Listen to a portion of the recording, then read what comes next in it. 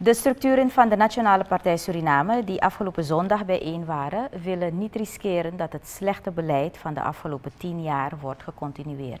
Dit is de reden waarom ze gemeend hebben de volkswil te respecteren. De structuren hebben gesproken over de positie van de NPS binnen de aankomende coalitie. De coalitiegenoten hadden namelijk besloten de splitsing van het ministerie van NH op te heffen en gas en olie ook onder te brengen bij ABOP, die het ministerie van NH toegewezen heeft gekregen. NPS-voorzitter Gregory Rusland hield de structuren voor dat de partij excellence zal tonen bij de wederopbouw van het land ongeacht in welke positie ze is.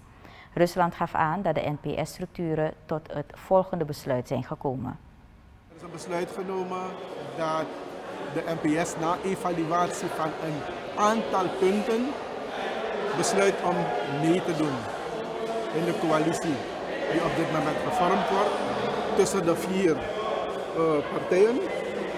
Um, daarbij zal rekening gehouden worden met het feit dat de NPS onder alle omstandigheden haar bijdrage zal blijven leveren aan deze samenleving.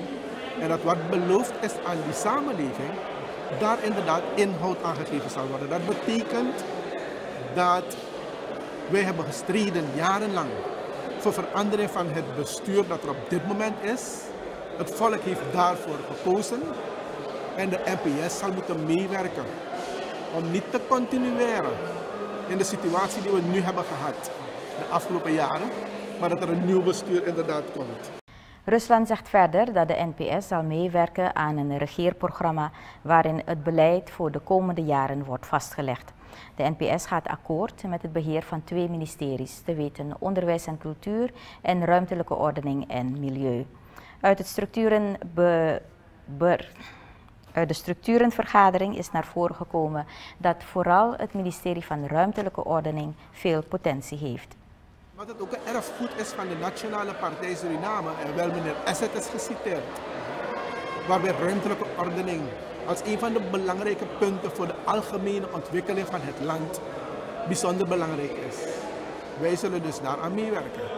De milieuvraagstukken, die internationaal op dit moment van enorm belang zijn, daar zal via dat ministerie inhoud aangegeven worden. Dus wij hebben aangegeven dat het niet per se gaat nu om ministeries, maar waar het om gaat is dat welke plek wij ook als NPS zullen innemen, wij onze excellence, onze daadkracht, onze capaciteiten zullen tonen en Suriname zullen laten zien dat de NPS waar dan ook een goede bijdrage kan leveren aan deze samenwerking. Het hoofdbestuur heeft het mandaat gehad van alle structuren om op dezelfde voet door te gaan.